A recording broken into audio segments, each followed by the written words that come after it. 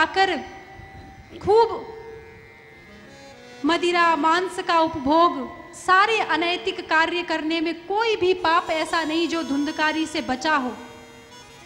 और ये पाँच गणिकाएँ कौन है? संक्षेप में वर्णन करना चाहेंगे? ये हमारी पाँच ज्ञानेंद्रियाँ हैं। हम इन्हीं पाँच ज्ञानेंद्रियों से फाइव सेंस ऑर्गन्स आँख, नाक, कान, जीभ ये जो पाँच फाइव सेंस ऑर्गन्स हैं, पाँच ज्ञानेंद्रियाँ इन्हीं से सारे पाप होते हैं हमसे। हम ही वो धुंधकारी हैं जो पाँच ज्ञानेंद्रियों के वशीभूत होकर, जैसे वो धुंधकारी पाँच गणिकाओं के वश में होकर दिन रात पाप कर रहा था। ऐसे ही हम भी करते हैं। मुँह से किसी की निंदा करते हैं, कानों से किसी की चुगली सुनते हैं, आँखों से बुरा दृश्य देख लेते हैं। दिन रात इन पाँच गणिकाओं के संसर्ग में हमसे भी पाप हो रहा है। हम धुंधकारी से अलग नहीं हैं। ये ऐसा नहीं कि धुंधकारी की कथा अलग और हम अलग। हम ही वो धुंधकारी हैं। तो वो धुंधकारी पाँच गणिकाओं के वशीभूत होकर दिन रात पाप कर रहा था। एक दिन उन गणिकाओं ने सोचा कि यदि ये ऐसे ही पाप करता रहा, चोरी करता रहा तो एक दिन हम भी पकड़े जाएँगे क्योंकि उसने एक दिन राजा के यहाँ भी, भी चोरी कर ली। किनके लिए? इन गणिकाओं के लिए। हम भी ऐसे अपनी आँख को तृप्त करने के लिए अपने कान को तृप्त करने के लिए अपनी ये जो ज्ञानेंद्रियाँ हैं इनकी तृप्ति के लिए बहुत से अधर्म कर जाते हैं। जैसे धुंधकारी कर रहा था। उन गणिकाओं को प्रसन्न करने के लिए, तृप्त करने के लिए, सारे अधर्म करने को तैयार था। और एक दिन यही ज्ञानेंद्रियाँ हमें धोखा देती हैं। ऐसे ही उन पाँच गणिकाओं ने उस धुंधकारी को यूँ धोखा दिया कि सोचा कि इसने राजा के यहाँ चोरी करी है और इसके साथ साथ हम भी बंध जाएँगे तो क्यों ना इसको मार के यहीं पे गाड़ दिया जाए। और धुंधकारी को एक दिन उन लोगों ने रस्सी से बाँध कर और वो तब भी नहीं मरा। महाराज, जो पापी व्यक्ति होता है ना, उसको मृत्यु जल्दी नहीं आती। आप कभी देखना, जिसके जितने ज़्यादा पाप होंगे, मृत्यु भी वर्ण नहीं करती जल्दी। संत महात्मा ऐसे धीरे से ही छोड़ के चले जाते हैं शरीर। धुंधकारी को बांधा, बहुत पीटा, मारा, उसके प्राण नहीं निकल रहे धुंधकारी के। फिर उन्होंने जलती लकड़ी, कोयला लिया और धुंधकारी के मुँह में भर दिया, तब भी प्राण नहीं निकल रहे धुंधकारी के। लगा ये मरेगा कैसे? बाँध के पूरा कोय, जलते हुए लकड़ी कोयले को भर के आँगन में गड्ढा खोद के उसमें उसको गाड़ दिया धुंधकारी को। और गाड़ के जितना वो धन संपत्ति चुरा कर लाया था धुंधकारी, पाँचों वेश्याओं ने बराबर बांट के चंपत हो गई, भाग गई वहाँ से। और जैसे ही गोकर्ण जी को पता चला कि हमारे भैया भी देह छोड़ चुके हैं, गोकर्ण जी ने सोचा, लाओ उनका गया में तर्पण कर दे, पिंड दान कर दे। गोकर्ण जी ने सब कुछ कर दिया। उसके बाद भी देखिए, संत महात्मा दो रहस्य बताते हैं। एक तो गया जी का महत्व है। ध्यान से सुनिएगा, गया जी का महत्व है। लेकिन श्रीमद् भागवत जी का उससे भी बड़ा महत्व है कि गया जी में पिंडदान करने से मुक्ति अवश्य होती है। फिर आप कहेंगे, धुंधकारी की क्यों नहीं हुई? क्योंकि गया जी में जब भी आप कोई दान, तर्पण कुछ करते हैं, सबसे पहले संकल्प लिया जाता है। लेते हैं ना, संकल्प पंडित जी कराते फिर बोलते हैं कि आप अपना गोत्र बोलिए। पंडित जी बुलवाते, गोत्र बुलवाते। धुंधकारी का तो वो गोत्र था ही नहीं ना। वास्तव में धुंधकारी तो धुंधली का बेटा था ही नहीं। धुंधकारी का वो गोत्र नहीं था। गोत्र अलग था धुंधकारी का। गया जी में तर्पण हुआ, लेकिन धुंधकारी की मुक्ति नहीं हुई। लेकिन श्रीमद् भागवत जी की इतनी महिमा है कि आपका कोई गोत्र अता पता हो ना पता हो। गलत हो सही हो श्रवण मात्र से मुक्ति है। तो एक बार हम लोग फिर से कहेंगे श्रीमद् भागवत महापुराण की जय हो।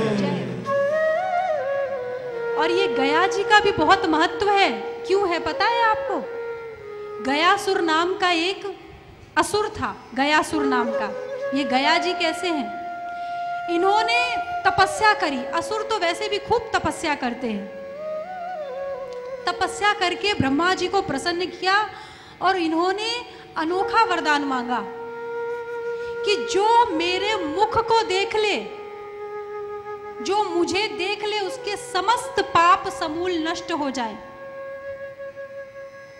ब्रह्मा जी ने वरदान दे दिया तथास्तु, क्योंकि इतना तप जो किया था गया गयासुर ने अब जैसे ही महाराज गयासुर को ये वरदान मिल गया, अब तो पापी से पापी लोग भी आते, गयासुर का दर्शन कर लेते और तर जाते। नर्क पूरा खाली, स्वर्ग भर रहा है और लोग दिन रात पाप कर रहे हैं और जान रहे हैं कि पाप कितना भी कर लो, उसके दर्शन कर लेंगे, सब धुल जाएगा। इस तरीके से तो गड़बड़ होने लगी। अब ब्रह्मा जी ने भगवान से कहा कि ये तो गड़बड़ कर रहा है महाराज, लोग और पाप कर रहे हैं। लोग कहते पाप, इधर पाप करो और उधर जाके दर्शन कर लो। भगवान ने कहा कि मुझे ही कुछ करना पड़ेगा। तो ठाकुर जी ने गयासुर से कहा कि एक काम करो, क्योंकि गयासुर भक्त बहुत था तो जब ठाकुर जी उससे कुछ मांगने गए तो उसने कहा, मैं दूँगा। तो ठाकुर जी ने कहा कि एक काम करो, तुम लेट जाओ अपने ऊपर तुम्हारे ऊपर ही हम हवन करेंगे, यज्ञ आदि करेंगे। गयासुर बड़ा राक्षस था। वो जानता था मेरा कुछ नहीं बिगड़ने वाला। उसने कहा, ठीक है प्रभु। गयासुर लेटा रहा, उसके ऊपर सारे देवी देवताओं ने खूब हवन, यज्ञ काफ़ी समय तक किया। गयासुर तब भी नहीं उस मृत्यु को प्राप्त हुआ। भगवान ने सोचा कि ऐसा कर देंगे तो मृत्यु को प्राप्त हो जाएगा।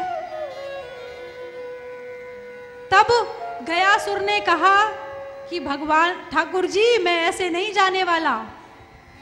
आपको चरण रखने पड़ेंगे और मुझे एक वरदान देना होगा कि जो भी मेरे स्थल में, मेरे इस स्थली पे आएगा, उसको आप स्वयं तारोगे। जब ठाकुर जी ने चरण रखे गया सुर पर और वरदान दिया, तभी से ये गया जो है, जहाँ पे आप पिंडदान करते हैं, वहाँ पे ये प्रचलन हो गया कि पिंडदान वहीं होगा और मान्यता हो गई कि यहाँ पे मोक्ष मिल जाता है, तर जाते हैं। तो धुंधकारी का इसलिए पिंडदान वहाँ पे नहीं हो पाया और इधर श्रीमद् भागवत का महत्व इतना है कि कोई गोत्र की आवश्यकता नहीं, किसी बात की आवश्यकता नहीं। अगर आपने कथा श्रवण करी है तो आपको उतना ही फल मिलेगा जितना किसी अन्य संकल्प लेने वाले को मिल रहा है। लेकिन शर्त एक है। शर्त ये है कि अंदर बाहर से कायन वाचा मन से इंद्रिय। आपको अंदर बाहर से एक होना होगा। मन से और बाहर से शुद्ध होना होगा। सात दिन ये ठाकुर जी गारंटी ले रहे हैं इस बात की कि अगर सात दिन कोई किसी भी संकल्प, किसी भी कामना से कथा को सुन ले, कथा की सारी शर्तें पूरी करते हुए, शर्त क्या है? वक्ता के पहले आकर श्रोता बैठे। कथा आरती से पहले ना जाएँ। और नींद और मन पे कंट्रोल दो चीज़ नींद आने ना पाए और मन कहीं जाने ना पाए। आप देखिए जो संकल्प आप मन में करके बैठे हैं वो ज़रूर पूरा होगा। जिन लोगों ने संकल्प नहीं लिया है वो भी। ये है श्रीमद् भागवत का महत्व। बोलिए श्रीमद् भागवत महापुराण की जय। और इस प्रकार से जब गोकर्ण जी महाराज को पता चला उन्होंने पिंडदान किया, गया में लौटकर अपने घर आए, अपने घर के आँगन में सो रहे थे गोकर्ण महाराज जी, कि तभी उन्होंने देखा कि एक प्रेत कभी भैंस बन जाता है, कभी भेड़ बन जाता है, और मुँह से उसकी आवाज़ नहीं निकल रही उस प्रेत के। गोकर्ण जी ने जल लिया, हाथ में मंत्र फूका और उस पे डाला तो वो बोल पाया। गोकर्ण जी ने पूछा कि तुम कौन हो? उसने बोला, मैं तुम्हारा भ्राता, तुम्हारा भाई धुंधकारी हूँ। गोकर्ण जी ने कहा, अरे, मैंने तो तुम्हारा पिंडदान कर दिया था। तुम अभी तक जीवित हो, प्रेत योनि में हो। उसने कहा, ऐसे सौ पिंडदान कर दो, मेरे जैसा एक नंबर का प्रेत कुछ नहीं होने वाला मेरा ऐसे। मैंने इतने पाप किए। गोकर्ण जी महाराज ने सोचा, अब क्या करूँ सबसे आखिरी बात तो यही पता थी कि गया जी में पिंडदान कर दो। सूर्य भगवान को सूर्य नारायण से प्रार्थना करी। सूर्य नारायण ने बताया कि श्रीमद् भागवत कथा का आयोजन करो। कथा सुनाओ इसे और इसको ज़रूर मुक्ति मिलेगी। सूर्य देव आज भी कलयुग में प्रत्यक्ष नारायण है। प्रत्यक्ष देव माने जाते हैं सूर्य देव सूर्य भगवान जी ने हर जगह जगह जगह आप देखेंगे, कथा में बहुत सहायता करी है भक्तों की। तो यहाँ पे भी सूर्य भगवान ने गोकर्ण जी को बताया। और फिर गोकर्ण जी ने कथा का आयोजन किया, और क्योंकि प्रेत योनि है धुंधकारी की तो आप लोग जैसे बैठे ऐसे धुंधकारी बैठ नहीं सकता था। क्योंकि वो वायु रूप हो चुका था, शरीर नहीं था स्थूल। तो सात गांठ के बाँस में धुंधकारी ने अपनी जगह बनाई। और वहाँ बैठकर धुंधकारी ने तल्लीनता से, और आप क्या कभी कल्पना कर सकते हैं कि धुंधकारी के मन में क्या चल रहा होगा? केवल एक ही बात, केवल एक ही बात। कथा के हर शब्द में केवल एक ही बात चल रही होगी कि इस शरीर से मुझे मुक्ति मिले। प्रभु, इस शरीर से मुझे मुक्ति मिले। इस भाव से जब धुंधकारी ने सात दिन कथा सुनी, पहले दिन पहली ग्रंथि दूसरे दिन दूसरी और ऐसे करते सात दिन में सातों गांठें फट गई और धुंधकारी एक चतुर्भुज स्वरूप में पितांबर ओढ़े। भगवान के चतुर्भुज स्वरूप में प्रकट हुआ और गोकर्ण जी को प्रणाम किया कि आपकी वजह से मुझे ये देह प्राप्त हुई और उस प्रेत योनि से छुटकारा मिला। और इधर एक बात हुई। एक आश्चर्य हुआ कि केवल जो विमान आया, वो केवल धुंधकारी के लिए आया। इतने सारे लोग कथा सुन रहे हैं, लेकिन जो विमान आया, वो केवल धुंधकारी के लिए। ऋषियों ने पूछा, ऐसा क्यों? यहाँ तक कि गोकर्ण जी ने भी पूछा, ऐसा कैसे महाराज? कथा तो सब सुन रहे हैं।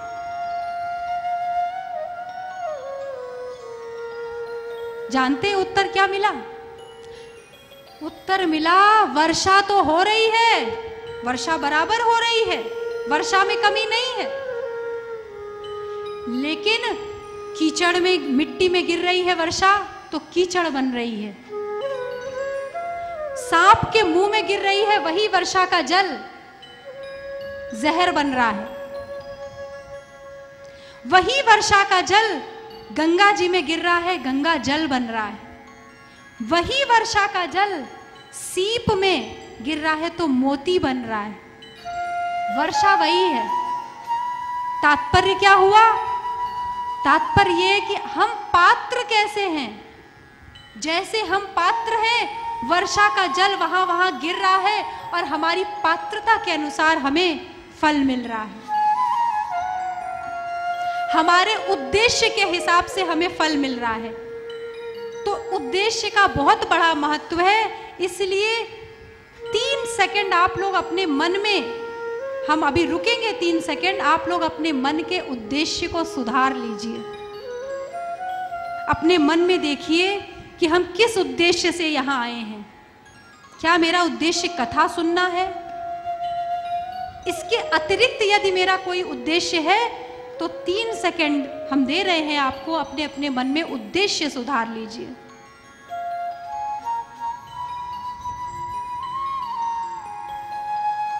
अपने उद्देश्य को केवल यही रखिए कि हमें कथा को श्रवण करना है। हे ठाकुर, हमें वो शक्ति दीजिए कि जो रस इसमें है, वो मैं पी सकूँ। जैसे धुंधकारी ने पिया, और आपको वही फल मिलेगा। तो जब इस प्रकार का उत्तर मिला गोकर्ण जी को तो गोकर्ण जी ने कहा, मैं फिर से आयोजन करूँगा कथा का और फिर से ये सब लोग आएँगे और फिर से अपना सब उद्देश्य सुधार के बैठेंगे और कथा को तल्लीनता से सुनेंगे।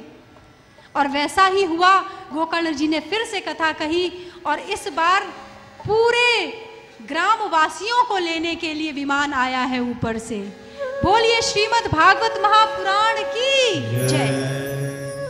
और धुंधकारी ने हाथ जोड़कर कैसे और सभी ग्रामवासियों ने हाथ जोड़कर गोकर्ण जी का आभार जानते कैसे प्रकट किया? ऐसे हरि कथा सुनाने वाले हरि सुनाने वाले तुमको लाखों प्रणाम। तुमको लाखों प्रणाम। हरि कथा सुनाने सुनाने वाले तुमको लाखों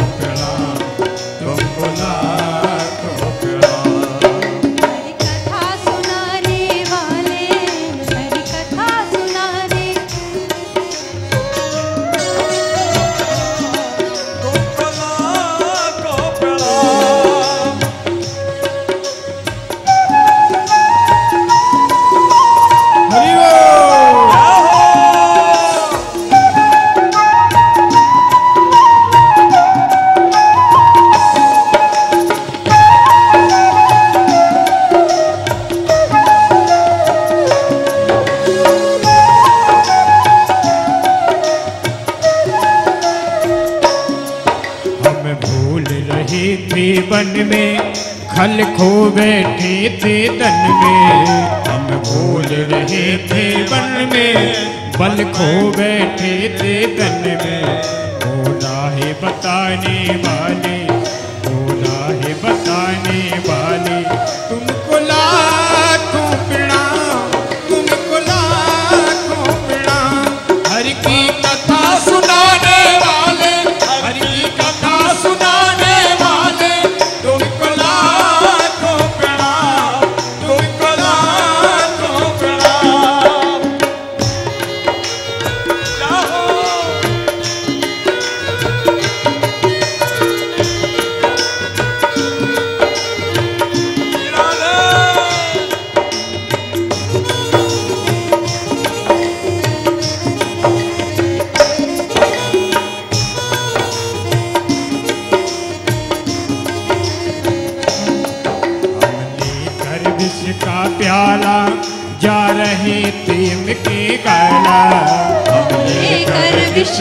प्याला जा रहे थे के गाला ओ सुधा पिलाने वाले ओ सुधा पिलाने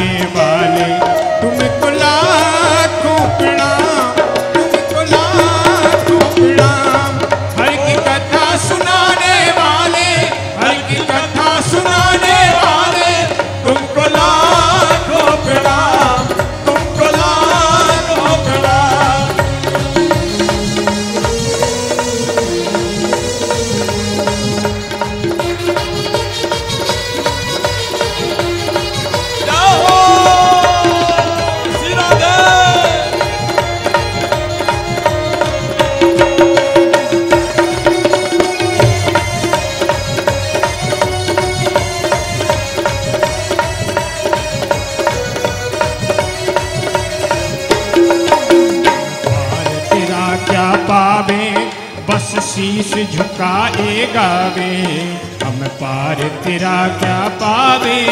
बस शीश झुकाए गावे ओ प्रेम लुटाने वाले ओ प्रेम लुटाने वाले। तुमको लाखों प्रणाम, तुमको लाखों हर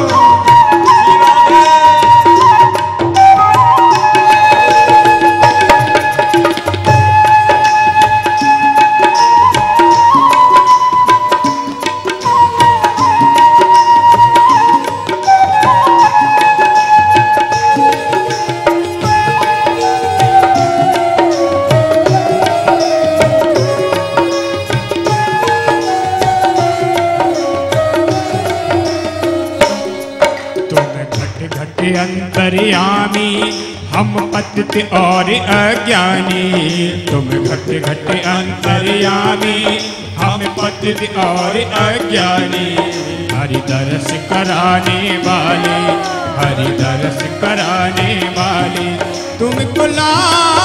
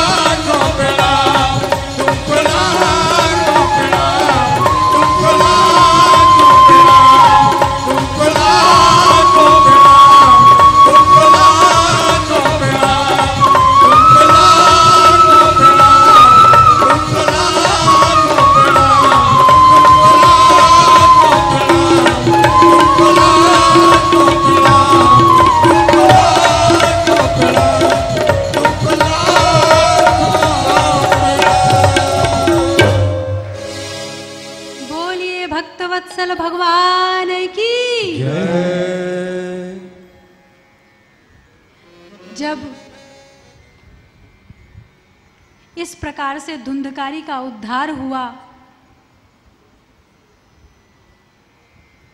तो यहाँ पे ये सिद्ध हो गया कि पापी से पापी मनुष्यों का भी श्रीमद् भागवत कथा उद्धार कर सकती हैं। सुर, नर और मुनि तीनों का उद्धार कर सकती हैं श्रीमद् भागवत कथा। जब इतना महत्व सुना तो नारद जी ने कहा कि जब महाराज इतना बता दिया तो ये भी बता दो कि अगर करना चाहे श्रीमद् भागवत तो कैसे करें? नियम क्या है? तो सनकादिक ऋषि बोले कि पाँच बातें ध्यान रखो। पहली, सबसे पहला जो हमारे अंदर भी प्रश्न आता है कि महाराज, खर्चा कितना आएगा? श्रीमद् भागवत कथा का मन तो बहुत है करवाने का, लेकिन खर्चा कितना होगा? तो विवाह या जैसे विवाह में बेटी के खर्च का कोई आकलन नहीं है, आपकी सामर्थ्य, आपकी जितनी श्रद्धा, सामर्थ्य है, उसके हिसाब से ही आप अपनी बेटी का विवाह करते हैं। वैसे ही श्रीमद् भागवत कथा का अपनी सामर्थ्य के अनुसार। अपने और अपने ठाकुर के बीच में किसी दूसरे को मत आने दीजिए। अपने और अपने ठाकुर के प्रेम के बीच में जो आपकी सामर्थ्य हो, उसके अनुसार आयोजन करना चाहिए। अच्छा दूसरी बात, वक्ता का चयन बहुत ध्यान से करना चाहिए, जो वैष्णव हो। वैष्णव अगर हम संक्षेप में कहें तो जैसे जिनको देखकर ठाकुर की याद आ जाए, वो है वैष्णव। हम ऐसे तो संसार में भूले रहते हैं, नज़र पड़ी चंदन, तिलक, माला, कंठी, ठाकुर की याद आ गई। आहा, ये उनके हैं। जिनको देख के ठाकुर की याद आ जाए, वो वैष्णव। वक्ता संशय छिद्रा होना चाहिए। आपके अंदर अगर कोई प्रश्न है, संशय है तो उसका शमन कर सके। शास्त्रज्ञ होना चाहिए। तीसरी बात, बताई कि खान पान में पूछा तो पहले तो कहा कि निराहार रहना चाहिए सात दिन। बिल्कुल बिना खाए पिए। अब तो कह दिया कि अगर आपने ऐसा बताया तो सुन चुके कथा, कलयुग के लोग। सतयुग थोड़े ना है।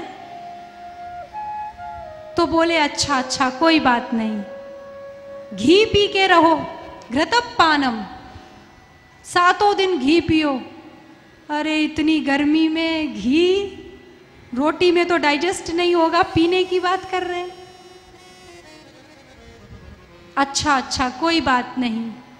तो पयो पानम, दूध पयो, दूध पीजिए। सिर्फ़ केवल दूध पी कर रही है दूध भी डॉक्टर ने मना किया है। मोटापा बढ़ जाएगा दूध से। ये भी नहीं होगा महाराज, और सरल करिए। अच्छा तो फलाहार फलाहार लेके रहिए।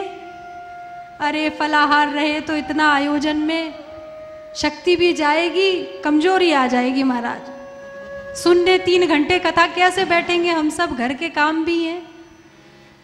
अच्छा अच्छा फल आहार नहीं तो फुल आहार लीजिए, पूरा आहार करिए। जितनी बार खाना हो, उतनी बार खाइए। बस कथा के बीच में सोइए मत। इतना मत खा लीजिए कि कथा में नींद आने लगे। उतना खा के आइए कि कथा में बैठ सके। शुदा देवी आपको सताए नहीं। और इस प्रकार से छूट देते हुए उन्होंने कहा कि ये तो हो गई खाने का नियम।